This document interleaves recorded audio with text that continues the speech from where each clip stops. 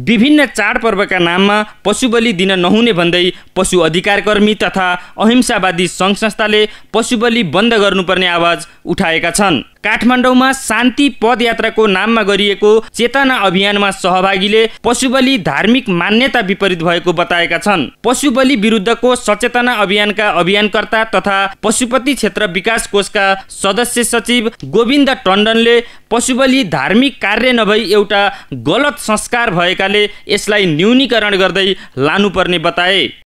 अब हिन्दू समाजमा हिन्दू धर्ममा विभिन्न किसिमका विचार दर्शन धारा चिन्तन भएको हुनाले होल विभिन्न छ। त्यसमध्ये अब यो जुन आज चाहिँ यहाँले देखिराख्नु भएको छ पशु बलि निषेध चेतना अभियान हो। यसले प्रत्येक वर्ष यो कार्यक्रम गर्ने गरेको छ। अब यसको मुख्य उद्देश्य भनेको पशु बलि धर्म होइन। यदि कसैलाई मार्नु काट्नु धर्म भयो भने अधर्म भनेको के? हाम्रो कुनै पनि धार्मिक साहित्यहरूमा कसैलाई मार्नु काट्नु यो गऱ्यो भनेदेखि धर्म हुन्छ भनेर भनेको छैन। पशु अधिकार हनन हुने गरी चाडपर्वका नाममा तथा आफ्नो आवश्यकता पूर्तिका लागि दैनिक रूपमा हुने पशु वधको अन्त्य गर्न आग्रह गर्दै राजधानीमा पशु बलि निषेध चेतना अभियान सञ्चालन गरिएको हो। कति मानिसहरूलाई चाहिँ ओहो यो त हामीले थाहा नभएर पो गरेको त।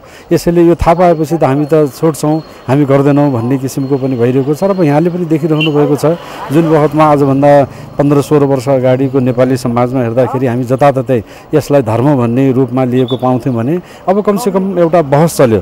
यो त धर्म होइन रहेछ काटमार गर्नु त कहाँ धर्म रहेछ? र अर्कालाई मारेर पनि धर्म हुन्छ भन्ने कुराको चाहिँ बहस आफ्ना परिवारमा बाउ छोरामा गुरु शिष्यमा त्यस्तै परिवारमा चल्न थालेको छ। पृथ्वी साझा घर भएकाले सबै प्राणीको समान अधिकार हुनुपर्ने अभियानकर्ताको तर्क छ।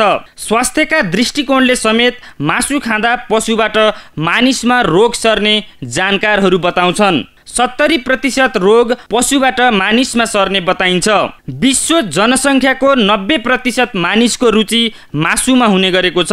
संयुक्त राष्ट्रसङ्घको विश्व खाद्य तथा कृषि सङ्गठनको तथ्याङ्क अनुसार प्रत्येक नेपालीको भागमा वार्षिक औसत तेह्रदेखि बिस किलो मासु पर्छ।